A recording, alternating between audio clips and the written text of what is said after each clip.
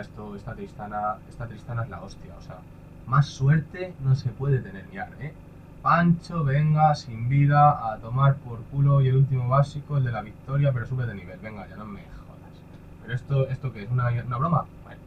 Bienvenidos, chavales, a este vídeo nuevo. Hoy os traigo una guía de Calista. Espero que, que os guste. Me la habéis pedido algunos. La he jugado mucho. De hecho, he subido a plata con ella ya.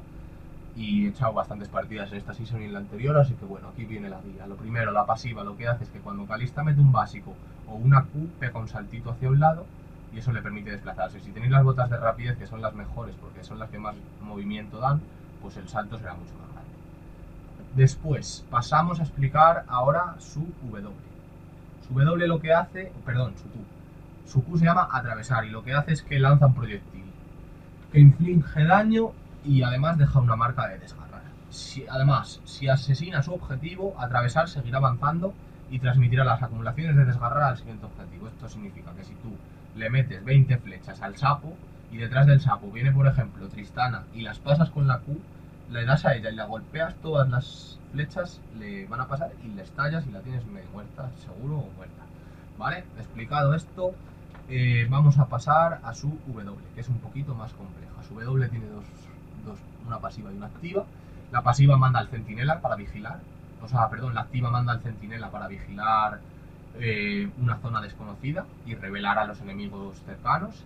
Y la pasiva lo que hace es que cuando está con su juramentado obtiene velocidad de ataque y si uno de los dos ataca a un minion o a un campeón, este es marcado y el que ataque después va a dar un, un golpe más fuerte eh, con daño mágico además.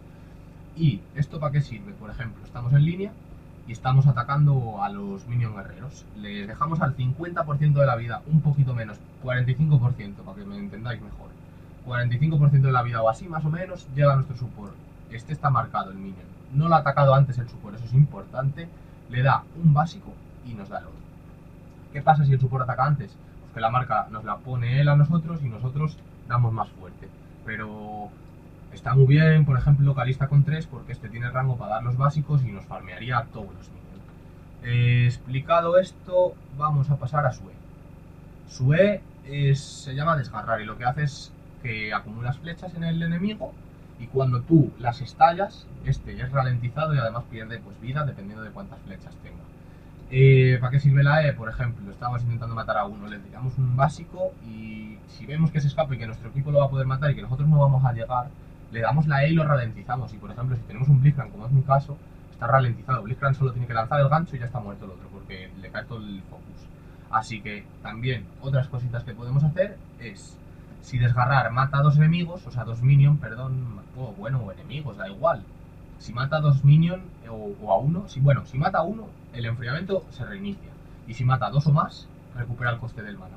Entonces, si nosotros cargamos a dos minions a la vez en lo que farmeamos, con tres flechas cada uno, dándonos cuenta de que tenemos un cooldown de 4 segundos para atacar a unos y otros. Si les intercalamos las flechas sin perderlos y que tengan las mismas y desgarramos a la vez, vamos a ganar el oro, vamos a no vamos a perder mana y no vamos a perder los. Ahora pasamos a la R. La R lo que hace es que atrae hacia ti a tu juramentado y él, le permite a él lanzarse donde él quiera. Lo suyo es que se lance encima de ellos o que si estás huyendo, pues que no se lance, que huya, se tire lejos de la zona, etcétera. También sirve muy bien para gankear bajo torre, por ejemplo, a una DC, si está solo, estamos bien, tenemos daño ya, tenemos objetos, cogemos la R, lanzamos a nuestro pedazo de tanque support, le da el golpe, él recibe los primeros golpes de la torre y tú le empiezas a meter plus, plus, plus, una Q, una E y hasta luego, te sales y ya está. Después viene las runas. Las runas que yo utilizo son las siguientes. Tengo un momentito, a ver, ahora mismo. Tengo tres glifos de resistencia mágica, 6 de velocidad de ataque, 9 sellos de armadura, 3 quintaesencias de daño de ataque, 2 marcas de daño de ataque y 7 marcas de penetración de armadura. Esas son las runas que utilizo yo. Luego, las maestrías que utilizo son estas otras que veis aquí en pantalla ahora mismo y las uso con fervor, que el fervor lo que hace es que al golpear a los campeones enemigos con ataques o habilidades, los ataques básicos infligen un daño adicional que según vas dando un básico va aumentando. Y al atacar a los campeones cuerpo a cuerpo generamos dos cargas. Y al atacar a y no sé si atacar a los de distancia será una, no lo sé, es que lo estoy leyendo ahora, eso no lo sabía yo, pero mira, nunca te acostarás sin saber una cosa más. Bueno, seguimos. Maestría, ya lo he dicho, objetos. Lo primero, mucha gente dice, no, pero con Calista hazte primero la hoja del rey, la hoja del rey, yo prefiero las flechas, el runan. ¿Para qué? Para estar farmeando a gusto en línea y meterle flechas a los dos y hacerme dobles y triples y cuadras y Yo lo primero que me meto es el runan, luego la hoja del rey, las botas de rapidez para los saltos también me los meto cuanto antes.